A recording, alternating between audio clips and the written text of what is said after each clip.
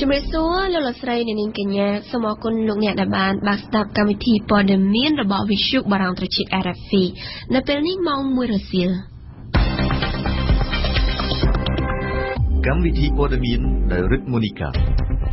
អាមេរិកអំពាវនាវឲ្យការបោះឆ្នោតនៅកម្ពុជា ប្រព្រឹត្តទៅដោយសេរីដោយគ្មានការគំរាមកំហែងអ្នកសង្កេតការណ៍ឲ្យដឹងថាការហែកក្បួនឃោសនាបោះឆ្នោតពីថ្ងៃមុខនេះមានភាពចាស់ទុំមន្ត្រីរដ្ឋាភិបាលដាក់ពាក្យប្តឹងស្វែងរកជនដៃដល់ដែលបានចូល hack page Facebook ក្រសួងយុតិធធនិងអ៊ីមែលផ្ទាល់ខ្លួន 2ថ្ងៃស្រង់ជួយជនភៀសខ្លួនតាមទូក្នុងសមុទ្រមេឌីទែរ៉ាណេបានជិត5000នាក់ប៉ូលីសបង់ក្លាដេសចោទឆៃឆេការិយាល័យមេដឹកនាំបកប្រឆាំង RFI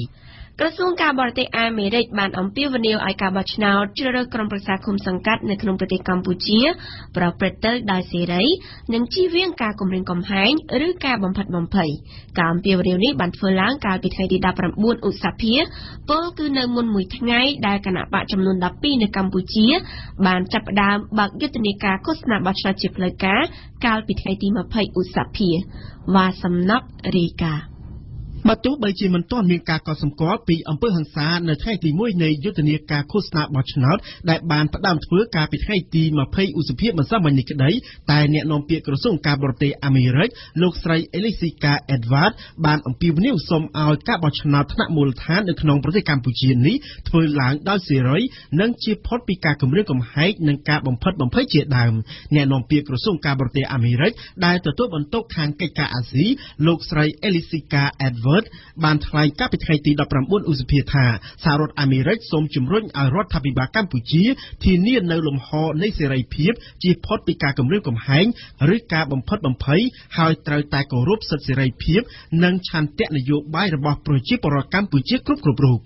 អ្វីជាការកត់សម្គាល់ការអំពាវនាវនេះបានធ្វើឡើងនៅមុនមួយថ្ងៃដែលគណៈបកនយោបាយចំនួន12នៅកម្ពុជាបានផ្ដើមបើកធ្វើយុទ្ធនាការឃោសនាបោះឆ្នោតជាលើកដំបូងកាលពីថ្ងៃទី20ឧសភានិងនៅប្រមាណថ្ងៃក្រោយពីលោកនាយករដ្ឋមន្ត្រីហ៊ុនសែនដែលបានកាន់អំណាចជាង3ទសវត្សរ៍នៅកម្ពុជានោះបានប្រមានពីការកើតឡើងនៅសង្គ្រាមស៊ីវិលប្រសិនបើគណៈបកប្រជាជនកម្ពុជារបស់លោកចាន់ឆ្នោតបន្ថែមលើនេះរដ្ឋមន្ត្រីក្រសួងការពារជាតិកម្ពុជាលោកទាបាញ់ក៏បានប្រមានពីការវាយបំបាក់ថ្មិញអ្នកដែលហ៊ានតវ៉ាប្រឆាំងនឹងលទ្ធផលបោះឆ្នោតថែមទៀតផង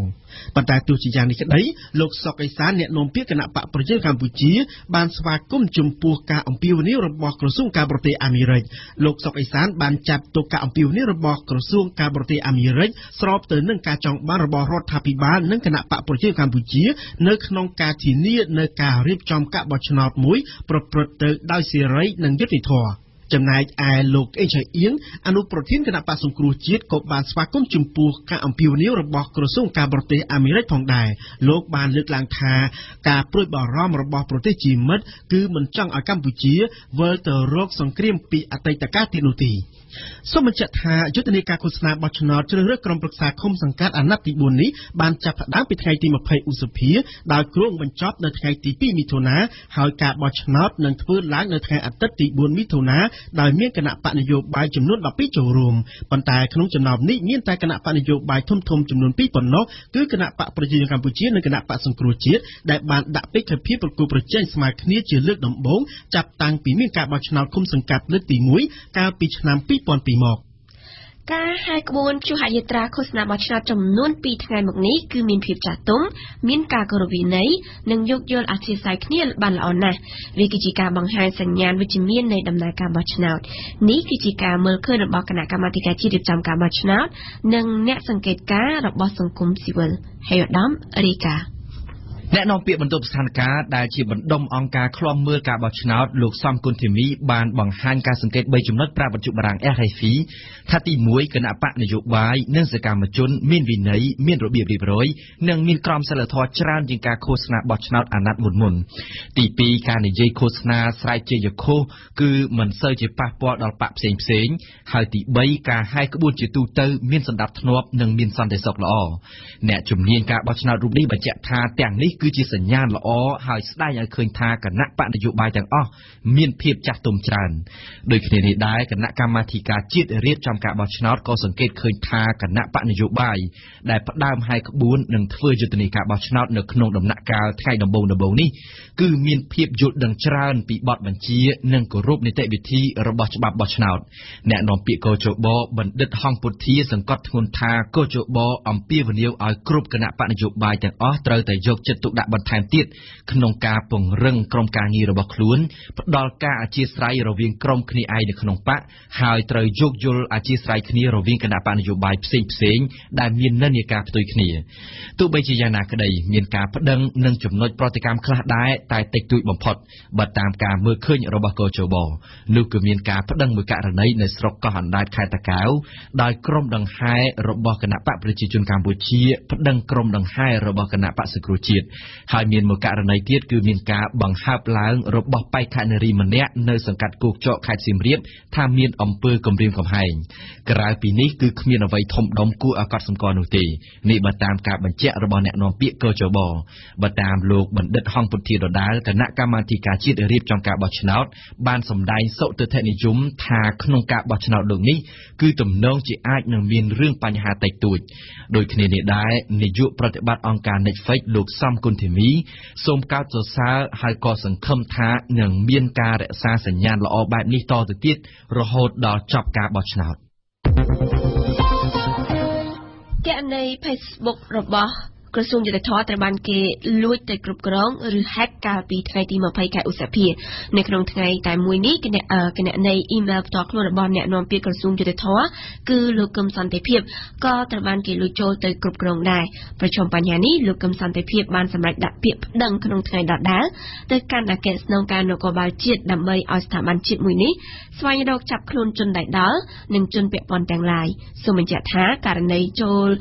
ទៅគ្រប់គ្រងករណី email ការរបស់មន្ត្រីរដ្ឋាភិបាលនៅពេលនេះគឺកើតមាន បន្ទាប់ពីមន្ត្រីគណៈបកប្រឆាំងក៏ធ្លាប់ជឿក៏ធ្លាប់ជួបរឿងដូចគ្នានេះកាលពី2ខែមុនដែរអេងគឹមហុងរាយការណ៍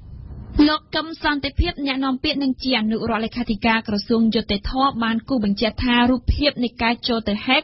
ឬលួចចូលទៅគ្រប់គ្រងគណនី Facebook Page របស់ក្រសួងយុតិធធពីសំណាក់ជនដៃដល់ធ្វើឡើងតាមរយៈការបង្ហាញពីសកម្មភាពឃោសនារបស់គណៈបកប្រឆាំងដែលសកម្មភាពទាំងនេះទាញចេញបន្តពី Facebook ឈ្មោះសំរងស៊ីលោកកឹមសន្តិភាពក៏អះអាងថារហូតមកដល់ពេលនេះស្ថាប័នជំនាញរបស់រដ្ឋដែលលោកបានដាក់ពាក្យប្តឹងនោះកំពុងតែធ្វើការទៅលើរឿងនេះហើយចំពោះស្ថានភាពនៃគណនីទាំងពីររួមមាន page Facebook និងគណនី email ផ្ទាល់ខ្លួននេះលោកកឹមសន្តិភាពបញ្ជាក់ថាខាងជំនាញក៏កំពុងដោះស្រាយទៅលើបញ្ហានេះដែរគេនៅចាំបានថាករណីដូចគ្នានេះក៏បានកើតមានរួចហើយទៅលើមន្ត្រីគណៈបកប្រឆាំងផងដែរជាក់ស្ដែងកាលពីថ្ងៃទី13ខែមិថុនាលោកម៉ៅមនីវ៉ាន់អនុប្រធានគណៈកម្មាធិការប្រតិបត្តិនៃគណៈបកសង្គ្រោះជាតិបានចេញមុខមកអះអាងថាទាំងគណនី Facebook និង email របស់លោកត្រូវបានក្រុមជនខលខូចចូលទៅ hack ទង្វើនេះលោកចាត់ទុកថាជាការបំរើប្រយោជន៍ផ្ទាល់ខ្លួននិងបកពួកក្នុងគោលបំណងបំបាយបំបាក់និងរារាំងបញ្ឈប់នៅសកម្មភាពផ្ទាល់ខ្លួនរបស់លោកជាមួយប្រជាប្រដ្ឋតាមរយៈបណ្ដាញសង្គម Facebook ក្រៅពីលោកម៉ៅមនីវ៉ាន់នៅមានលោកអេងឆៃអៀងនិងលោកយ៉ាំសវណ្ណនិងលោកហូវ៉ាន់ជាដើមក៏ត្រូវបានជនខលខូចចូលទៅ hack email ផងដែរ។ ប៉ុន្តែក្រុមតំណាងរាស្ត្រទាំងនេះមិនបានប្តឹងទៅស្ថាប័នរដ្ឋដើម្បីស្វែងរកចាប់ខ្លួនជនដៃដល់នោះទេ ដោយពួកគេគ្រាន់តែប្តឹងទៅក្រុមហ៊ុនបណ្ដាញសង្គមដើម្បីទាមទារយកគណនីបណ្ដាញសង្គមមកវិញតែប៉ុណ្ណោះក្រៅពីមន្ត្រីគណៈបកប្រឆាំងនិងមន្ត្រីរដ្ឋាភិបាលដែលរងការហែកហើយនោះគេនៅចាំបានថា Facebook Page របស់លោកនាយរដ្ឋមន្ត្រីហ៊ុនសែនក៏ធ្លាប់ត្រូវបានក្រុមចោរអ៊ីនធឺណិតចូលទៅហែកផងដែរ។ ក្នុងរយៈពេលមួយសប្តាហ៍ចាប់ពីថ្ងៃទី13ដល់ថ្ងៃទី19ខែឧសភាឆ្នាំ2017ជនបរទេសចំនួន58នាក់ស្រី12នាក់មាន5សញ្ជាតិត្រូវបានកម្លាំងនគរបាលអន្តរប្រវេសន៍នៃក្រសួងមហាផ្ទៃឃាត់ខ្លួនពីបទលួចឆ្លងដែនខុសច្បាប់ស្នាក់នៅលើទឹកថាការនិងធ្វើការគ្មានលិខិតឆ្លងដែននៅលើទឹកដីកម្ពុជា ជនបរទេសទាំង58នាក់មានជនជាតិវៀតណាមនីហ្សេរីជនជាតិអង់គ្លេសចិនដីគោកនិងជនជាតិឥណ្ឌា ជ័យនៅក្នុងវិស័យមីក្រូហិរញ្ញវត្ថុរបស់កម្ពុជាស្ទើរតែមិនមានកំណើននៅក្នុងឆ្នាំ2016ដោយសារតែកំណើនឥណទាននៅត្រឹងបន្ទាប់ពីការទទួលបានកំណើនដ៏ធំនៅក្នុងរយៈពេលជាច្រើនឆ្នាំមកនេះបើយោងតាមរបាយការណ៍របស់ធនាគារពិភពលោកចេញផ្សាយកាលពីដើមសប្តាហ៍នេះខុសពីឆ្នាំ2014កំណើនឥណទានរបស់វិស័យមីក្រូហិរញ្ញវត្ថុបានកើនឡើងខ្លាំងចំនួន50%បើធៀបនឹងរយៈពេលដូចគ្នាកាលពីឆ្នាំ2013 ក៏ប៉ុន្តែបន្ទាប់មកបានជាប់គាំងដោយមិនបានរំពឹងទុកកាលពីឆ្នាំ2016 ដែលឡែកក្រសួងបរិស្ថាននៅថ្ងៃស្អែកនេះនឹងរៀបចំទិវាចម្រុះអន្តរជាតិឆ្នាំ2017ក្រោមប្រធានបទជីវៈចម្រុះនិងទេសចរប្រកបដោយនិរន្តរភាពទិវានេះប្រារព្ធឡើងនៅក្នុងគោលបំណងបង្កើនចំណេះដឹងនិងស្វែងយល់ឲ្យកាន់តែច្បាស់នៅតម្លៃជីវៈចម្រុះនៅថ្នាក់តំបន់ជាតិនិងសកលក្រៅពីការរៀបចំនៅរាជធានីភ្នំពេញទិវានេះក៏នឹងរៀបចំនៅខេត្តគោលដៅចំនួន4គឺសៀមរាបមណ្ឌលគិរីកំពតនិងកែប thank you យើងផ្ដើមព័ត៌មានអន្តរជាតិនេះអំពីបញ្ហាជនភៀសខ្លួន ជនភៀសខ្លួនដែលធ្វើដំណើរតាមទូកឆ្លងសមុទ្រមេឌីទែរ៉ាណេទៅកាន់ទ្វីបអឺរ៉ុបមានចំនួនកើនឡើងកាន់តែច្រើនគ្រាន់តែនៅក្នុងរវាង2ថ្ងៃចុងក្រោយនេះនាវាល្បាតអ៊ីតាលីនិងលីប៊ីបានជួយស្រង់យកមនុស្សយ៉ាងហោចណាស់ជិត5000នាក់ចេញពីទូកពងកៅស៊ូដែលអណ្ដែតតែលតោនៅកណ្ដាលសមុទ្របើគិតពីដើមឆ្នាំនេះមកជនភៀសខ្លួនយ៉ាងហោចណាស់ជាង1200នាក់បានបាត់បង់ជីវិតនៅក្នុងសមុទ្រមេឌីទែរ៉ាណេជាងស្ដាប់មុំពិសីគ្រាន់តែក្នុងរវាងពីថ្ងៃប្រហ័សទី18និងថ្ងៃសុក្រទី19ឧសភានេះយ៉ាងហោចណាស់មានជនភៀសខ្លួនប្រមាណជិត5000នាក់ដែលគេបានជួយសង្គ្រោះបាននៅក្នុងសមុទ្រមេឌីទែរ៉ាណេចន្លោះពីលីប៊ីនិងអ៊ីតាលី។នេះចាត់ទុកថាជាសំណាងណាស់ទៅហើយដែលជនភៀសខ្លួនទាំងនោះមិនបានលង់ទឹកស្លាប់នាវាល្បាតសមុទ្ររបស់អ៊ីតាលីបានស្រង់បានសាកសពជនរងគ្រោះបានម្នាក់ប៉ុណ្ណោះ យោងតាមការបញ្ជាក់លម្អិត នៅថ្ងៃសុក្រគេបានសង្គ្រោះមនុស្សចំនួន2100នាក់ចេញពីទូកពងចំនួន17ទូកចំណែកកាលពីថ្ងៃប្រហ័សមានជនភៀសខ្លួនប្រមាណជា2900នាក់ដែលគេបានសង្គ្រោះបានក្នុងចំណោមនោះអ្នកដែលគេសង្គ្រោះបាននៅក្នុងដែនទឹកអន្តរជាតិចំនួន2300នាក់ត្រូវបានគេបញ្ជូនទៅកាន់អ៊ីតាលីឯចំណែកជាង580នាក់ទៀតត្រូវបានបញ្ជូនទៅកាន់ប្រទេសលីប៊ីវិញ គូក៏សម្គាល់ថាជនភៀសខ្លួននៅតែបន្តសម្រុកឆ្លងសមុទ្រមេឌីទែរ៉ាណេប្រថុយជីវិតដើម្បីធ្វើដំណើរមកកាន់ទ្វីបអឺរ៉ុបចាប់ពីចុងឆ្នាំ2016មកជនភៀសខ្លួនបានធ្វើដំណើររួមគ្នាម្ដងម្ដងជាក្រុមមានច្រើនរយនាក់ជាក់ស្ដែងកាលពីចុងខែឧសភាឆ្នាំ2016គេបានសង្គ្រោះបានមនុស្សចំនួន13000នាក់ក្នុងរយៈពេលតែ5ថ្ងៃចំណែកនៅចុងខែសីហាគេបានជួយស្រង់បានចំនួន14000នាក់ក្នុងរយៈពេលតែ4ថ្ងៃ ហើយនៅខែតុលាឆ្នាំ2016ដដែលគេបានសង្គ្រោះបានចំនួន1800នាក់ចំណែកកាលពីខែមេសាកន្លងទៅនេះក្រុមសង្គ្រោះបានសង្គ្រោះជនភៀសខ្លួនប្រមាណជា8500នាក់បើយោងតាមតួលេខរបស់អង្គការជនភៀសខ្លួនអន្តរជាតិគិតពីដើមឆ្នាំ2017នេះមកជនភៀសខ្លួនស្លាប់នៅក្នុងសមុទ្រមេឌីទែរ៉ាណេមានប្រមាណជា1244នាក់ក្នុងរយៈពេលដូចគ្នានេះដែរយ៉ាងហោចណាស់ ជនភៀសខ្លួនប្រមាណជា46000នាក់បន្ថែមទៀតដែលគេបានជួយសង្គ្រោះហើយដឹកយកទៅទុកនៅលើដីអ៊ីតាលីចំនួនមកដល់បន្ថែមនេះបានកើនឡើងដល់ទៅ30%បើប្រៀបធៀបទៅរយៈពេលដដែលនៅឆ្នាំមុនក្រៅតែពីការបង្កើនការល្បាតនៅក្នុងសមុទ្រដើម្បីអាចជួយស្រង់មនុស្សឲ្យទាន់ពេលវេលានោះគឺនៅពុំទាន់មានដំណោះស្រាយណាមួយជាក់លាក់និងយូរអង្វែងជាលក្ខណៈអន្តរជាតិដើម្បីកាត់បន្ថយការធ្វើចំណាក់ស្រុកយ៉ាងគំហុកនេះនៅឡើយទេ។ អ្នកផ្ដល់ព័ត៌មានសម្ងាត់ឲ្យទីភ្នាក់ងារចារកម្មអាមេរិក CIA ជិត20នាក់ត្រូវបានសម្លាប់ឬក៏ចាប់ដាក់គុកដោយរដ្ឋាភិបាលទីក្រុងប៉េកាំងនៅចន្លោះឆ្នាំ2010និង2012ដើម្បីបំផ្លាញឯកសារទាំងឡាយដែលទីក្រុង Washington ប្រមូលបាននៅក្នុងប្រទេសចិនអស់រយៈពេលជាច្រើនឆ្នាំមកនេះកាសែត New York Times បញ្ជាក់ថាគេមិនទាន់អាចកំណត់បានទេថាតើ CIA ត្រូវបាន hack ឬក៏ជនបង្កប់ណាម្នាក់ជួយដល់រដ្ឋាភិបាលចិននៅក្នុងការកំណត់អត្តសញ្ញាណភ្នាក់ងារទាំង20នាក់ខាងលើនៅឡើយទេខណៈដែលភ្នាក់ងារម្នាក់ក្នុងចំណោមអ្នកទាំងនោះត្រូវបានបាញ់សម្លាប់នៅក្នុងអគាររដ្ឋាភិបាលចិនជាការប្រមានដល់ជនបង្កប់ដទៃទៀត thank you នៅឯទីក្រុងដាកាប្រទេសបង់ក្លាដេសនាថ្ងៃសៅរ៍ប៉ូលីសបាននាំគ្នាចុះឆែកឆេរការិយាល័យរបស់លោកស្រី Khalida Zia ជាមេដឹកនាំបកប្រឆាំងសកម្មជនបកប្រឆាំងរាប់រយនាក់បានតវ៉ាប្រឆាំងការឆែកឆេរនេះបកប្រឆាំងបានចាត់ទុកការឆែកឆេរនេះថាជាល្បិចនយោបាយរបស់រដ្ឋាភិបាលដើម្បីបង្ខូចឈ្មោះមេដឹកនាំបកប្រឆាំងព្រមសឿនស្រីណាជួនព័ត៌មានពិស្ដា ប៉ូលីសបង់ក្លាដេសបានទទួលដីកាឆៃឆេពីតុលាការឲ្យចូលទៅឆៃឆេការិយាល័យរបស់លោកស្រី Khalida Zia ជាមេដឹកនាំគណៈបកប្រឆាំងនៅថ្ងៃសៅរ៍នេះការិយាល័យលោកស្រី Zia ស្ថិតនៅសង្កាត់ Gulshan ក្នុងក្រុងដាកាប៉ូលីសប្រាប់ថាចង់រកមើលក្រែងមានឯកសារប្រឆាំងរដ្ឋាភិបាលបង់ក្លាដេសនៅការិយាល័យលោកស្រី Zia ប៉ុន្តែមិនបានរកឃើញអ្វីទេបកប្រឆាំងប្រាប់ថាក្នុងពេលឆៃឆេប៉ូលីសបានបង្អាក់ដំណើរការកាមេរ៉ានៅការិយាល័យមេដឹកនាំបកហើយថែមទាំងបានវាយកំទេចសោទៀតផងបកប្រឆាំងចោទថានេះជាឧបាយកលរបស់រដ្ឋាភិបាលដើម្បីធ្វើបាបបកដើម្បីបង្ខូចរូបភាពលោកស្រី Khalida ជាមេដឹកនាំបកលោកស្រី Khalida Zia ធ្លាប់កាន់តំណែងជានាយករដ្ឋមន្ត្រីបង់ក្លាដេសដល់ទៅ2ដង និងជាមេដឹកនាំបកប្រឆាំងគឺបកជាតិនិយមបង់ក្លាដេសហៅកាត់ថាបក BNP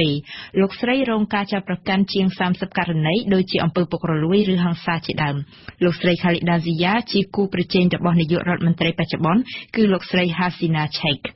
បកប្រឆាំង BNP បានចាប់ផ្ដើមរៀបចំមីទីងផ្សេងៗដើម្បីត្រៀមការបោះឆ្នោតសភាដែលក្រុងធ្វើនៅខែមករាឆ្នាំ2019ប៉ុន្តែយោងតាមក្រុមជំនាញការបោះឆ្នោតនេះប្រហែលជាអាចធ្វើមុនអាណត្តិគឺនៅឆ្នាំក្រោយនេះវិញសូមរំលឹកថាបកប្រឆាំង BNP បានធ្វើពហិការក្នុងការបោះឆ្នោតសភាកាលពីឆ្នាំ2014ដោយសារខ្លាចមានការបន្លំស្លឹកឆ្នោតធ្វើឲ្យគណៈបកលោកស្រី Hasina Sheikh ជានាយករដ្ឋមន្ត្រីបច្ចុប្បន្នទទួលបានជោគជ័យ កាលពីដើមឆ្នាំ2015បកប្រឆាំងបានរៀបចំបាតកម្មទាមទារឲ្យលោកស្រីហាស៊ីណាចុះពីអំណាចប៉ុន្តែលោកស្រីហាស៊ីណាបានប្រើកម្លាំងប៉ូលីសបំបីបាតកម្មធ្វើឲ្យមានមនុស្សស្លាប់120នាក់កាលនោះសកម្មជនបកប្រឆាំងរាប់ពាន់នាក់ត្រូវបានប៉ូលីសចាប់ខ្លួនយើងបញ្ចប់ព័ត៌មានអន្តរជាតិដែលនិយាយអំពីមហោស្រពភាពយន្តការនៅក្នុងប្រទេសបារាំងដែលនៅថ្ងៃអាទិត្យនេះគឺបានឈានចូលដល់ថ្ងៃទី5នៃការប្រកួតប្រជែងស្វែងរកខ្សែភាពយន្តដែលល្អដាច់គេសម្រាប់រង្វាន់តលប័តមាសនៅក្នុងមហោស្រពការមានខ្សែភាពយន្ត19 9ដែលត្រូវប្រកួតប្រជែងគ្នាដើម្បីរង្វាន់តាលប័តមាសប៉ុន្តែជាមួយគ្នានោះផងដែរមានខ្សែភាពយន្តបរទេសប្រមាណជា40ទៀតដែលត្រូវបានគេជ្រើសរើសសម្រាប់ការចាក់បញ្ចាំងពិសេសសង្គ្រិតវីរ៉ាទុគឺជាខ្សែភាពយន្តឯកសាររបស់ Babette Schroeder សមត្ថករស្វីសតើរឿងសង្គ្រិតវីរ៉ាទុនិយាយអំពីអ្វី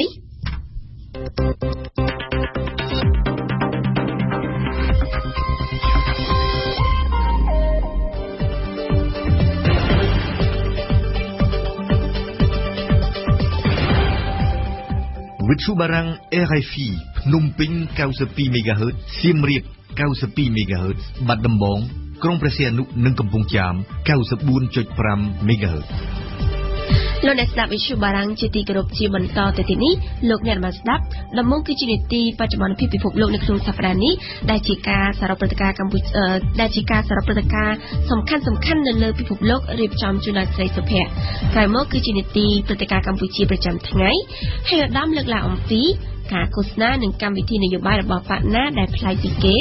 ហើយនៅចុងក្រោយនៃកម្មវិធីព័ត៌មានរបស់យើងគឺជានីតិប្រវត្តិសាស្ត្រពិភពលោកសេនីណាលើកឡើងអំពី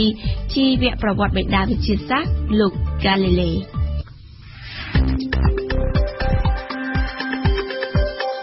បច្ចុប្បន្នភាពពិភពលោកក្នុងសប្តាហ៍នេះ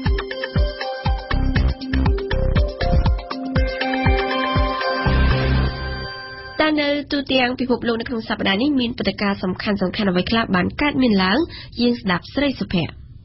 បារាំងមានប្រធានាធិបតីថ្មីជាផ្លូវការហើយ នៅថ្ងៃអាទិត្យទី14ខែឧសភាលោក François Hollande ប្រធានាធិបតីផុតអាណត្តិត្រូវប្រគល់អំណាចដឹកនាំប្រទេសទៅជូនលោក Emmanuel Macron កម្មវិធីផ្ទេរតំណែងពីប្រធានាធិបតីចាស់ទៅឲ្យប្រធានាធិបតីថ្មី ជាប្រពៃណីនៃរបបសាធារណរដ្ឋបានចាប់ផ្ដើមនៅព្រឹកម៉ោង10នៅប្រទេសបារាំងពលគឺក្រោយការជាប់ឆ្នោតតែប៉ុន្មានថ្ងៃប៉ុណ្ណោះអៀងសុកមិញជូនព័ត៌មានលម្អិតជុំវិញការផ្ទេរតំណែងប្រធានាធិបតីថ្មីនេះដែលជាការចាក់ផ្សាយឡើងវិញកម្មវិធីផ្ទេរតំណែងបានប្រព្រឹត្តទៅយ៉ាងសាមញ្ញបំផុតដោយអ្វីដែលប្រធានាធិបតីទាំងពីរចង់បាននៅវេលាម៉ោង10ព្រឹកលោកអេម៉ានូអែលម៉ាក្រុងបានអញ្ជើញទៅដល់វិមានប្រធានាធិបតីតាមរយៈការទទួលស្វាគមន៍ពីលោកហ្វ្រង់ស៊ុលហូឡង់ប្រធានាធិបតីផុតអាណត្តិ ចាប់ដៃគ្នាយ៉ាងរលាក់ប្រធានាធិបតីទាំងពីរក៏បានចូលទៅពិភាក្សាការងាររយៈពេលប្រមាណជាង1ម៉ោងដើម្បីផ្ដល់កិច្ចការសម្ងាត់ជាតិមានជាអាចលេខកូដសម្ងាត់សម្រាប់កិច្ចបញ្ជាអាវុធនុយក្លេអ៊ែរជាដើមបន្ទាប់មកទើបនឹងមានការបាញ់កំភ្លើងធំ21គ្រាប់ជាកិច្ច អបអរទទួលស្វាគមន៍ប្រធានាធិបតីថ្មី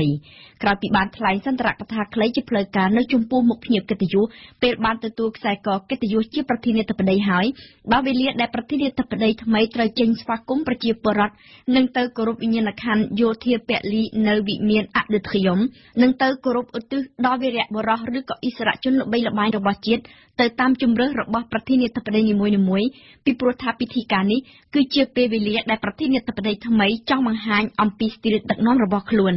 កាលពីឆ្នាំ1974ប្រធានាធិបតីថ្មីបានបង្ហាញស្ទីលថ្មី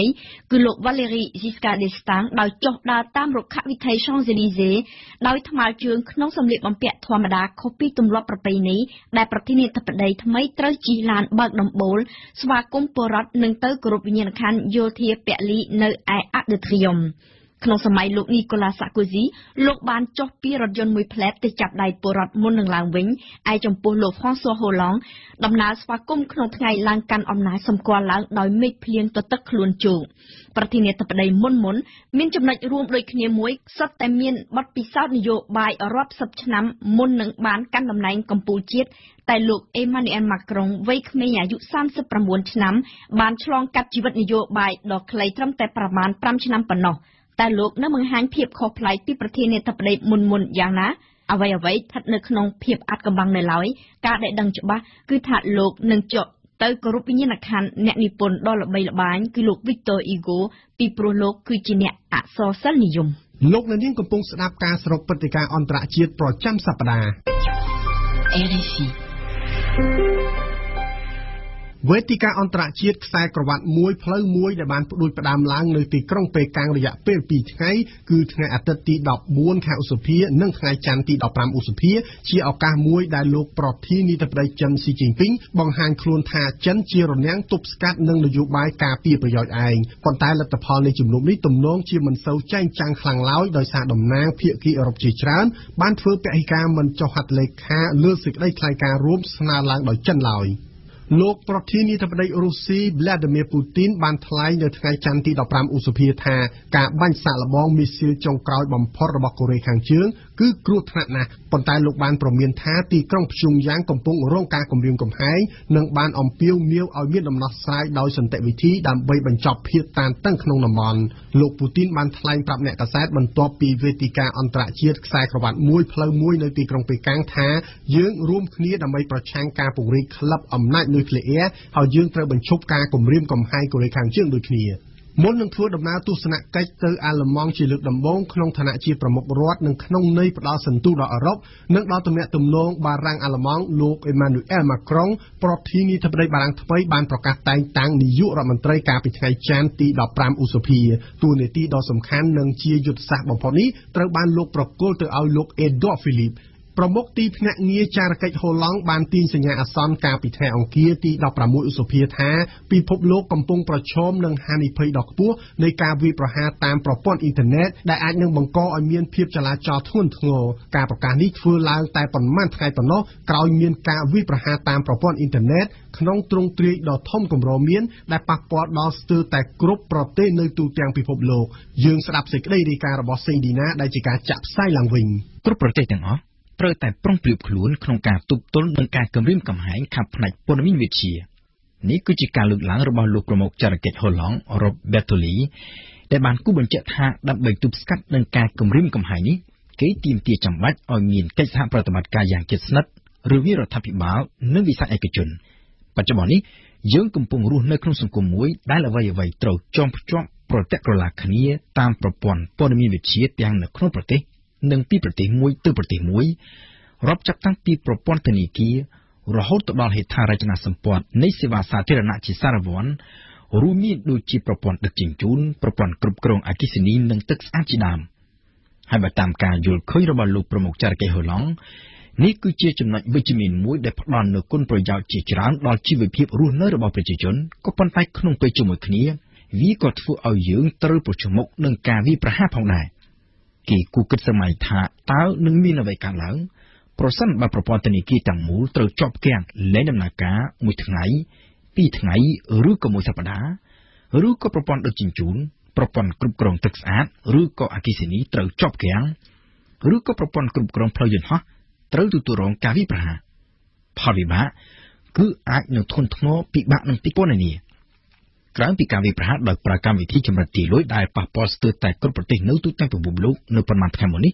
លោកប្រមុខចរកិច្ចហូឡង់បានលើកឡើងជាឧទាហរណ៍ពីការវិប្រហារមួយចំនួនផ្សេងទៀតកាលពីពេលកន្លងមករួមមានដូចជាការវាយប្រហារទៅលើក្រុមហ៊ុនប្រេងរបស់អារ៉ាប៊ីសាអូឌីតកាលពីឆ្នាំ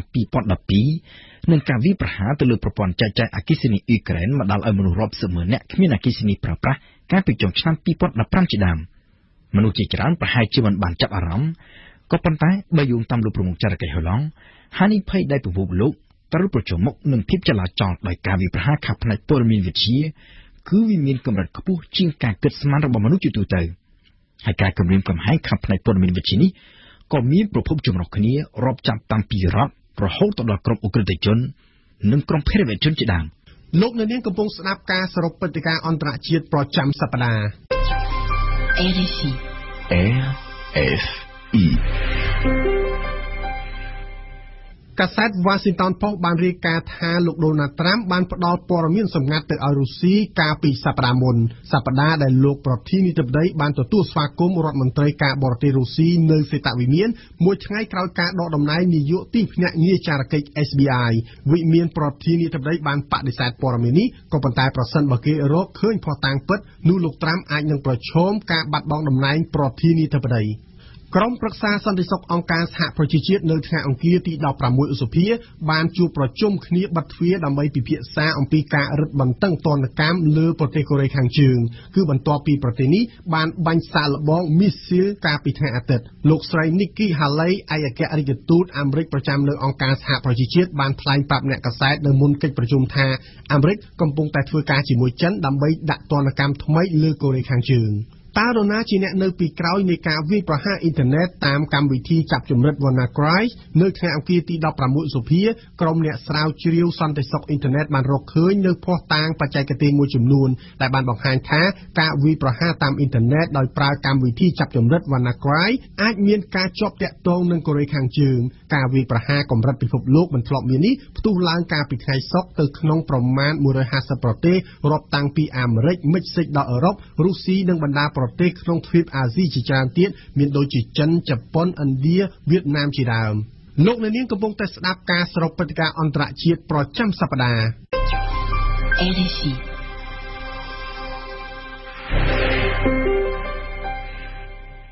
អាញាធរថៃនៅថ្ងៃអង្គារទី16ខែឧសភាបានប្រមានបិទទំព័រ Facebook ជំវិញការបង្ហោះព័ត៌មានដែលរិះគន់ទៅលើខ្សែរាជវង្សព្រះមហាក្សត្រថៃគឺបន្ទាប់ពីក្រមមន្ត្រីបាននិយាយថាបណ្ដាញសង្គមមួយនេះយល់ព្រមលុបចោលការបង្ហោះព័ត៌មានដែលមានលក្ខណៈរិះគន់ព្រះមហាក្សត្រនោះសូមបញ្ជាក់ថានៅប្រទេសថៃតាំងពីមេដឹកនាំរាជានិយមឡើងកាន់អំណាចអស់រយៈពេល3ឆ្នាំមកមានមនុស្សជាង100នាក់ហើយដែលត្រូវបានចោទប្រកាន់នៅក្នុងនោះភាគច្រើនគឺបង្ហោះព័ត៌មានរិះគន់តាមអនឡាញនិងមួយចំនួនទៀតត្រូវបានចាប់ដាក់គុកដោយសារតែសរសេរប៉ះពាល់ដល់ព្រះមហាក្សត្រថៃនៅថ្ងៃពុធទី17ខែឧសភាលោកអេម៉ានូអែលម៉ាក្រុងប្រធានាធិបតីបារាំងដែលទើបតែជាប់ឆ្នោតបានប្រកាសតែងតាំងរដ្ឋាភិបាលថ្មីរបស់លោក ហើយស្របទៅតាមការសន្យារបស់លោកកាលពីអំឡុងឃោសនាបោះឆ្នោតរដ្ឋាភិបាលថ្មីនេះមានសមាជិកចម្រុះគឺចម្រុះបកចម្រុះលាយគ្នារវាងអ្នកនយោបាយនិងអិសរាជជនមកពីសង្គមស៊ីវិលព្រមទាំងមានសមាជិកស្មើគ្នារវាងបុរសនិងស្ត្រីផងដែរតុលាការអន្តរជាតិទីក្រុងឡាអេបានចេញសេចក្តីសម្រេចការពីថ្ងៃប្រហ័ស បង្គាប់ឲ្យប៉ាគីស្ថានផ្អាកការប្រហារជីវិតពលរដ្ឋឥណ្ឌាម្នាក់ដែលត្រូវបានតុលាការប៉ាគីស្ថានកាត់ទោសប្រហារជីវិតពីបទចារកម្មការសម្រេចរបស់តុលាការក្រុងឡាអេត្រូវបានធ្វើឡើងតាមបណ្ដឹងរបស់ឥណ្ឌាក៏ប៉ុន្តែបទបញ្ជាឲ្យផ្អាកការប្រហារជីវិតនេះគ្រាន់តែជាសេចក្តីសម្រេចក្នុងក្របខ័ណ្ឌវិធានការបន្ទាន់តែប៉ុណ្ណោះយើងស្ដាប់សេចក្តីរាយការណ៍របស់សេងឌីណាដែលជាការចាក់ផ្សាយឡើងវិញពលរដ្ឋឥណ្ឌាឈ្មោះគូលពូសានចាត់ថាត្រូវបានអាជ្ញាធរប៉ាគីស្ថានចាប់ខ្លួនកាលពីខែមីនាឆ្នាំ2016នៅតំបន់បាបោប៉ាគីស្ថានហើយកាលពីខែមេសាកន្លងទៅថ្មីៗនេះត្រូវបានតុលាការយោធាប៉ាគីស្ថានកាត់ទោសប្រហារជីវិតពីបទលបយកការសម្ងាត់ឲ្យឥណ្ឌាឥណ្ឌាបានបដិសេធយ៉ាងដាច់អហង្ការថាពលរដ្ឋរបស់ខ្លួននេះមិនមែនជាភ្នាក់ងារចារកិច្ចនោះទេហើយក៏បានដាក់ពាក្យបណ្ដឹងទៅតុលាការក្រុងឡាអេកាលពីដើមខែឧសភានេះដែលបានចោទប៉ាគីស្ថានថាបានរំលោភលើអនុសញ្ញាក្រុងវីយ៉ែននិងរំលោភលើច្បាប់សិទ្ធិមនុស្សអន្តរជាតិឥណ្ឌា ក៏បានស្នើសុំផងដែរឲ្យតុលាការចាត់វិធានការបន្ទាន់ដើម្បីធ្វើយ៉ាងណាទប់ស្កាត់កុំឲ្យប៉ាគីស្ថានប្រហារជីវិតអ្នកទោសមុនពេលដែលតុលាការលើកយកបណ្ដឹងមកជំនុំជម្រះគឺទៅតាមការស្នើសុំនេះហើយដែលតុលាការបានបើកសវនកម្មឲ្យបានចេញសេចក្តីសម្រេចដោយសម្លេងឯកច្ឆន្ទនៅរសៀលខែប្រហ័សនេះបញ្ជាឲ្យប៉ាគីស្ថានព្យួរការអនុវត្តទោសប្រហារជីវិតលើពលរដ្ឋឥណ្ឌារហូតតទៅដល់ពេលតុលាការចេញសេចក្តីសម្រេចចុងក្រោយ ចៅក្រមក៏បានរំលឹកដល់ប៉ាគីស្ថានផងដែរថាស្របទៅតាមច្បាប់អន្តរជាតិសេចក្តីសម្រេចរបស់តុលាការយុត្តិធម៌អន្តរជាតិគឺជាសេចក្តីសម្រេចដែលមានអនុភាពខាងផ្លូវច្បាប់ ដែលប៉ាគីស្ថាន មានកាតព្វកិច្ចត្រូវតែគោរពតាម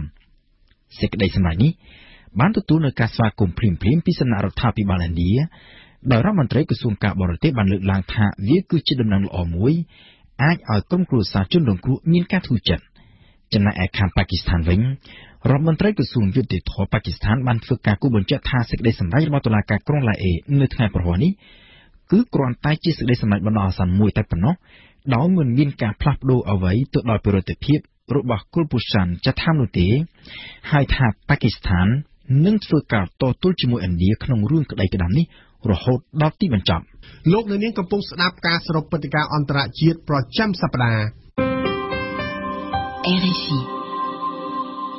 មហោស្រពអន្តរជាតិការលើកទី70បានចាប់ផ្ដើមបើកសម្ពោធនៅថ្ងៃពុធទី17ខែឧសភានៅទីក្រុងកានប៉ែកខាងត្បូងប្រទេសបារាំងដោយរៀងរាល់ឆ្នាំដែរក្នុងមហោស្រពភាពយន្តដែលប្រព្រឹត្តទៅរហូតដល់ថ្ងៃទី28ឧសភាខ្សែភាពយន្តចំនួន19មកពីចំនួន12ប្រទេសនឹងដាក់ប្រកួតប្រជែងដើម្បីដណ្ដើមយកតាឡបានមាននិងជាពានរង្វាន់ដ៏ល្បីល្បាញនៅក្នុងវិស័យភាពយន្ត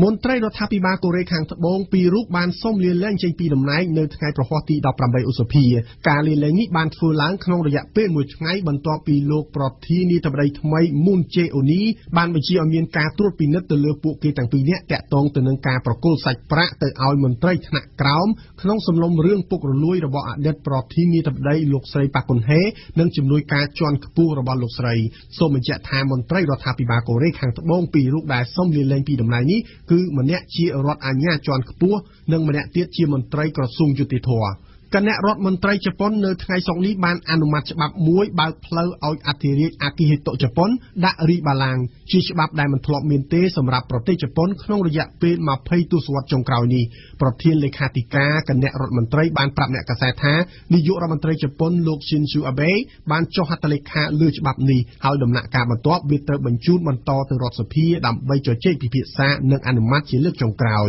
អធិរាជអាគីហិតូរបស់ជប៉ុនបច្ចុប្បន្នមានប្រជជន80 83ព្រះវស្សាបានបង្ហើបពីបំណងចូលនិវត្តន៍យ៉ាងភ្ញាក់ផ្អើលកាលពីខែកក្កដាឆ្នាំ2016ដោយសារតែព្រះរាជសុខភាពរបស់ព្រះអង្គរាជបល្ល័ង្កនឹងត្រូវផ្ទេរទៅកាន់ព្រះបុត្រច្បងណារុហ៊ីតូកម្មវិធីនេះសហការឧបត្ថម្ភដោយ Sanofi ជាក្រុមហ៊ុនឱសថឈានមុខគេនៅប្រទេសបារាំងផ្ដល់ជូនដំណោះស្រាយសុខភាព និងផ្ដោតការយកចិត្តទុកដាក់ ទៅលើតម្រូវការប្រជាជននៅជុំវិញពិភពលោក Sanofi មានវត្តមាននៅកម្ពុជាជាង20ឆ្នាំមកហើយម៉ាស៊ីនទឹកក្តៅ Marinai ជាផលិតផលលំដាប់លេខ1របស់ប្រទេសជប៉ុនមានគ្រប់ប្រភេទសម្រាប់តម្រូវការរបស់លោកអ្នក Sinvenju ជាក្រុមហ៊ុនផលិតកាហ្វេធម្មជាតិតែមួយគត់គ្រប់គ្រងដោយភ្ញៀវជាតិនិងអន្តរជាតិសាកលវិទ្យាល័យឯកទេសនៅកម្ពុជា CUS សិក្សាដើម្បីបុគ្គលិកលក្ខណៈសម្បត្តិល្អប្រពៃសិក្សានៅ CUS សហករណ៍សរីរាង្គខ្មែរលក់បន្លែសរីរាង្គផ្លែឈើស្រស់ៗដែលគ្មានជាតិគីមីពុលសូមតាក់ទងលេខទូរស័ព្ទ077 29 99 63ឬ012 31 02 34កាហ្វេហ្វូណនសញ្ញាមេដៃកាហ្វេធម្មជាតិសុទ្ធឈ្ងុយឆ្ងាញ់ផលិតដោយក្រុមយុវជនយុវនារីខ្មែរក្រុមហ៊ុន Calling Film មានទទួលបិទ sticker បន្ថយកម្ដៅនៅក្នុងរថយន្តនិងអាគារដ៏មានប្រសិទ្ធភាពសូមតាក់ទងលេខទូរស័ព្ទ093 22 00 23 092 99 88 77ព្រឹត្តិការណ៍កម្ពុជាប្រចាំថ្ងៃថ្ងៃនេះគឺជាថ្ងៃទី2នៃយុទ្ធនាការឃោសនាបោះឆ្នោតឃុំសង្កាត់អាណត្តិទី4គណៈបកនយោបាយទាំង12នៅកម្ពុជាខិតខំប្រឹងប្រែងរៀបចំការឃោសនាទៅតាមលទ្ធភាពរៀងៗខ្លួនដូច្នេះសួរថាតើការឃោសនានឹងកម្មវិធីនយោបាយរបស់បកណាដែលប្លែកពីគេតទៅនេះសូមអញ្ជើញស្ដាប់សេចក្តីរាយការណ៍របស់ហេឧត្តម ពីម្សិលមិញបកប្រជាជនកម្ពុជានិងបកសង្គ្រោះជាតិដែលជាបកធំជាងគេដាក់បេក្ខភាពឃុំសង្កាត់ច្រើនជាងគេហើយបានហែក្បួនឃោសនាបោះឆ្នោតធំធេងកកិតកក្រែងជាងគេដែរនៅភ្នំពេញចំណែកបកតូចៗផ្សេងទៀតរៀបចំហែក្បួនតាមលទ្ធភាពរៀងខ្លួនក៏ប៉ុន្តែបកអំណាចខ្មែរថាខ្លួនមិនហែក្បួនទេព្រោះថាវារញ៉េរញ៉ៃឥតប្រយោជន៍លោកស៊ុនសេរីរដ្ឋាប្រធានបកអំណាចខ្មែរសូមជម្រាបទៅគណៈបកអំណាចខ្មែរគឺរក្សាចំហដដែលពីព្រោះយើងអត់មានទៅការហែកក្បួនតាមដងផ្លូវរញ៉េរញ៉ៃទេពីព្រោះយើងយល់ថានេះវាគឺជាទម្លាប់អាក្រក់ដែលធ្វើឲ្យប៉ះពាល់ដល់ការធ្វើដំណើរនិងអារម្មណ៍របស់ពលរដ្ឋដូច្នេះហើយគឺយុទ្ធនាការរបស់គណៈបកអំណាចខ្មែរគឺយើងផ្ដោតទៅលើការបង្ហាញមុខបេតិជននិងការបង្ហាញកម្មវិធីនយោបាយជាក់ស្ដែងទៅដល់ក្នុងផ្ទះរបស់ពលរដ្ឋតែម្ដងគឺបេតិជនរបស់យើងដើរពីផ្ទះមួយទៅផ្ទះមួយគឺហៅថា តទូត campaign គឺដើរពីផ្ទះមួយទៅផ្ទះមួយដោយបង្ហាញមុខអ្នកបោះឆ្នោតថាពួកគាត់គឺជាបេក្ខជនរបស់គណៈបកអំណាចខ្មែរគណៈបកជនជាតិដើមប្រជាធិបតេយ្យកម្ពុជាក៏សម្រេចមិនហែកក្បួនអីធំដុំដែរគឺជ្រើសរើសយកការអំពាវនាវតាមផ្ទះលោកអនុប្រធានបកស្រួយខេតគឺជួបជុំតាមប្រទេសនៅហើយនឹងឃោសនាពីមួយទៅមួយចំណែកគណៈបកប្រជាធិបតេយ្យមូលដ្ឋានបានហែក្បួនជាលើកដំបូងបំផុតគឺបានរៀបចំក្បួនហែដូចគេដូចឯងដែរក៏ប៉ុន្តែគឺមិនបានចែកអំណោយជាលុយជាកាក់ឬប៊ីចេងសារ៉ុងក្រមាទេ តែចែកចាយគ្រាប់ពូជនិងចែកគំនិតអគ្គលេខាបកបណ្ឌិតសាមអ៊ីននៅឃុំខ្លះហានឹងមានការចែកគ្រាប់មរុំជាដើមដើម្បីលើកទឹកចិត្តឲ្យបងប្អូនជាពលរដ្ឋចូលរួមដាំមរុំដែលជាដើមឈើផងហើយអាចជាថ្នាំផងជានិមិត្តសញ្ញាឲ្យប្រជាពលរដ្ឋនឹង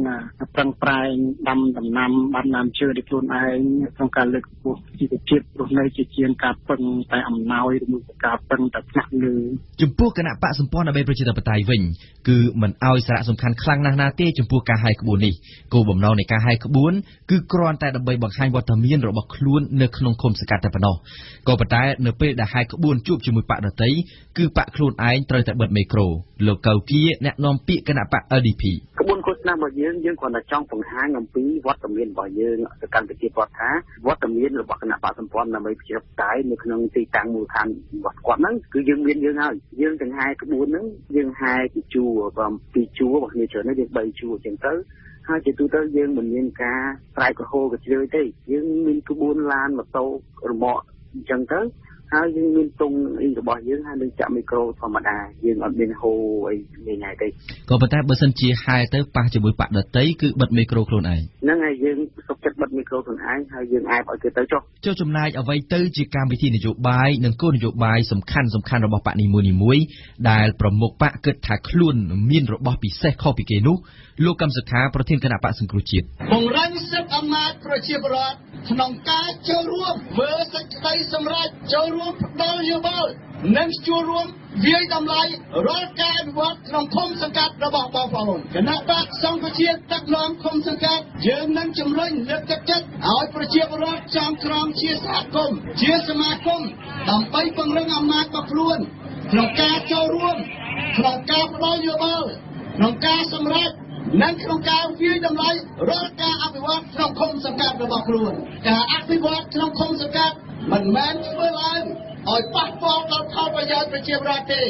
គឺយើងធ្វើឡើងគឺដើម្បីផលប្រយោជន៍ប្រជាពលរដ្ឋក្នុងឃុំសង្កាត់របស់ខ្លួនជាដាច់ខាតមេឃុំចៅសង្កាត់គណៈបកសង្គ្រោះជាតិណា ដែលបានទទួលអំណាចពីប្រជាពលរដ្ឋហើយមិនអនុវត្តតាមតាមគោលការណ៍តាមកិច្ចសន្យានយោបាយរបស់គណៈបកសង្គ្រោះជាតិនេះយើងនឹងដកចេញពីតំណែងឲ្យបានជាដាច់ខាតយើងមានគោលការណ៍មួយដែលយើងនិយាយថាតតនោះគឺតទាំងមេឃុំសង្គ្រោះជាតិតទាំងមេឃុំណាក៏ដោយហើយតែមិនបម្រើឆន្ទៈប្រជាពលរដ្ឋ ចំពោះគណៈបកប្រជាជនកម្ពុជាវិញលោកសុកអេសានអ្នកនាំពាក្យគណៈបកថាចំណុចពិសេសគឺការថែរក្សាសន្តិភាពស្ថិរភាពសន្តិសុខនិងការអភិវឌ្ឍលោកសុកអេសានយើងមិនផ្អែកទៅលើការដែលសម្លុតគម្រាមកំហែងឬមួយក៏អូសទាញទិញទឹកចិត្តប្រជាពលរដ្ឋទេផ្អែកទៅលើការពិនិត្យឃើញជាក់ស្ដែងអំពីស្មារតីទទួលខុសត្រូវរបស់មន្ត្រីរបស់គណៈបកប្រជាជននិងការបម្រើផលប្រយោជន៍ប្រជាជននឹងឯងបាទពីព្រោះថាយើងដឹកនាំច្រើនអាណត្តិហើយយើងមានពិសោធន៍យើងមានពិសោធន៍ហើយយើងបានផ្សារភ្ជាប់មនោសញ្ចេតនារវាងមន្ត្រីយើងទៅនឹងប្រជាពលរដ្ឋអញ្ចឹងប្រជាពលរដ្ឋលោកមើលឃើញលោកជឿទុកចិត្តលោកស្រឡាញ់រោគរាប់អានហើយលោកមានការកក់ក្ដៅអញ្ចឹងទេគឺថាគ្មានផ្លូវណាក្រៅពីប្រជាពលរដ្ឋពឹងផ្អែកយកគណៈបកប្រជាជនជាចំហបង្អែកដើម្បីធានាបាន នៅសុខសន្តិភាព នៅស្ថិរភាពនយោបាយក៏ដូចជា ការគិតគូរអំពីការលំបាកកង្វល់របស់ប្រជាពលរដ្ឋនេះទេពេលណាប្រជាពលរដ្ឋមានទុក្ខលំបាកគឺពេលនោះមានមន្ត្រីមានមុខមន្ត្រីរបស់គណៈបកប្រជាជនមានមុខដើម្បីដោះស្រាយបកហ៊ុនស៊ិពេចវិញបានឈរឈ្មោះចំនួន846ឃុំសម្ដេចក្រមព្រះនរោត្តមរណរដ្ឋព្រះប្រធានគណៈបកហ៊ុនស៊ិពេចបានមានបន្ទូលថាចំណុចពិសេសរបស់បកទ្រង់គឺមានប្រវត្តិដើមកំណើតនិងការដង្ហែតាមព្រះបរមរតនកោដ្ឋសម្ដេចក្រមព្រះវាខុសពីគេត្រង់ថាទី1យើងខ្ញុំបើគ្មានអ្នកតស៊ូអ្នកក្នុងនោះខ្ញុំសុំដាក់គណៈបក សម្ដេចសុនសានជាមួយផងបើសិនជាគ្មានអ្នកតស៊ូទេវាគ្មានទៅមានថ្ងៃហ្នឹងទេអានឹងវាខុសពីគេត្រង់ហ្នឹងអ្វីមួយដែលយើងធ្វើបានធ្វើដោយសារតែជ័យជំនះឆ្នាំ1993នេះហើយបានជាយើងធ្វើអ្វីបានជូនជាតិខ្លះសន្តិភាពនេះសេរីភាពនេះធំណាស់ចំពោះយើងជាអ្នករាជានិយមសូមកុំភ្លេចឲ្យសោះ ទីទីការវិលត្រឡប់មកវិញនៅរបបរាជានិយមអាស្រ័យធម្មនុញ្ញជុំជាតិភ្លេងជាតិសប្តាហ៍នេះគឺដោយសារតែជ័យជំនះឆ្នាំ1993នេះហើយសាសនាព្រះពុទ្ធសាសនាជាសាសនារបស់រដ្ឋដែលចែងក្នុងរដ្ឋធម្មនុញ្ញនៅក្នុងនោះសរុបវាទៅគឺបវចនាជាតិបវចនាសាសនាបវចនាព្រះមហាក្សត្រនឹងគឺជាស្នាដៃរបស់គណៈបក រាជយុទ្ធសុនស៊ីពេជ្រនឹងហើយដែលពេលលោកសួរថាវាខុសគេត្រង់ណាវាខុសគេត្រង់ហ្នឹងចុះតើអ្វីទៅជាចំណុចខុសប្លែកគេរបស់គណៈបកជនជាតិដើមប្រជាធិបតេយ្យកម្ពុជាដែលដាក់បេក្ខភាពឃុំបាន2ខេត្តនិងចំនួន17ឃុំនោះអនុប្រធានលោកស្រួយខេតបញ្យលចំណុចដែលខុសគេហ្នឹងទាក់ទងទៅនឹងថែរក្សាអត្តសញ្ញាណជនជាតិដើមរបស់យើងមិនឲ្យបាត់បង់ទៅបងហ្នឹងហើយដែលជាចំណុចខុសគេ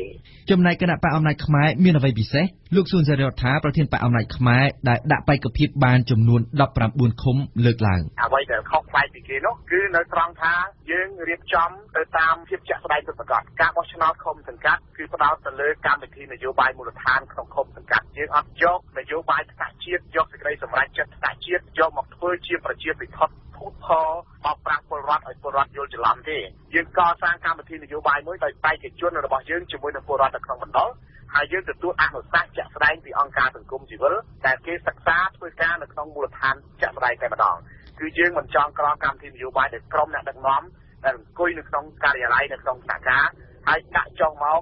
ឲ្យអ្នកក្រមធ្វើការទេគឺយើងទទួលយកអ្វីដែលជាការពិតកើតឡើងពីគុំសង្កាត់ពិតប្រាកដយកមកធ្វើជាកម្មវិធីនយោបាយមូលដ្ឋាន បង្ហាញពីដំណោះស្រាយថាបើយើងជាប់ជាមេឃុំជាចៅសង្កាត់ក្នុងឃុំហ្នឹងយើងដោះស្រាយកម្មវិធីហ្នឹងអាហ្នឹងគឺជាបញ្ហារបស់ពួកគាត់នៅក្នុងមូលដ្ឋានហើយអានឹងគឺជាសមត្ថកិច្ចរបស់មេឃុំចៅសង្កាត់តែជាអ្នកត្រូវតែធ្វើគណៈបកសាធារណរដ្ឋប្រជាធិបតេយ្យថាខ្លួនមានចំណុចពិសេសខុសពីគេឯងចំនួន2គឺទី1យកផែនទីធ្វើជារូបសញ្ញាបក ហើយទី2មេបកគឺជាស្ត្រីលោកច័ន្ទជេតអនុប្រធានបកបកស្រាយទី1ផ្លាកសញ្ញាមិនមែនដាក់រូបអ្វីទាំងអស់គឺដាក់គ្រប់លំដាប់ដោយផែនទីប្រទេសកម្ពុជាហើយយើងគឺស្ត្រីជាអ្នកដឹកនាំពីព្រោះលើពិភពលោកយើងយើងមានស្រីតិចណាស់ដែលដឹកនាំរីឯគណៈបកសម្ព័ន្ធអបេប្រជាធិបតេយ្យវិញគ្មានអ្វីត្រូវអួតហើយក៏គ្មានអ្វីត្រូវសន្យាដែរតែអ្វីដែលហ៊ានធានាគឺប្រសិនបើបករបស់ខ្លួនជាប់មេឃុំរបស់បកនេះគឺមិនពុករលួយធ្វើការពេញម៉ោងនៅសាលាឃុំ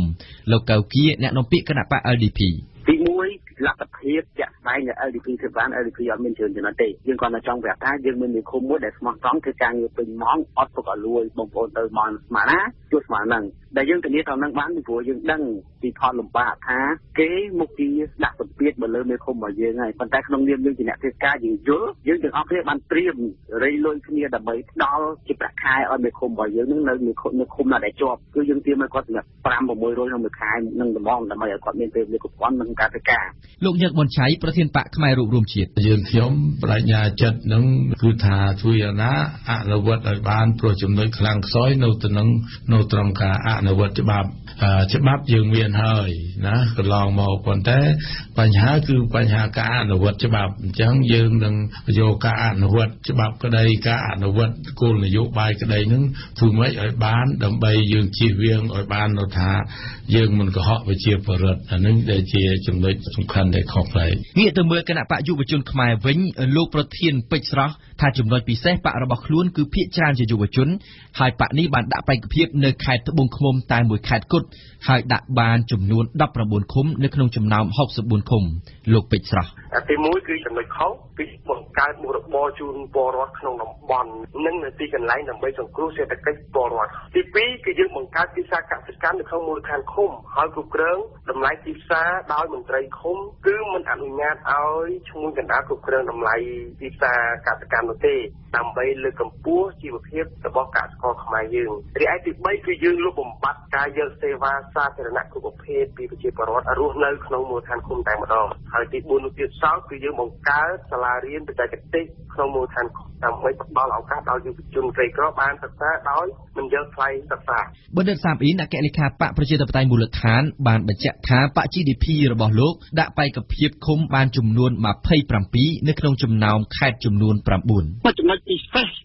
ដែលគណៈបកប្រជាធិបតេយ្យមូលដ្ឋានមានដែលគណៈបកដតីគ្មានហ្នឹងគឺ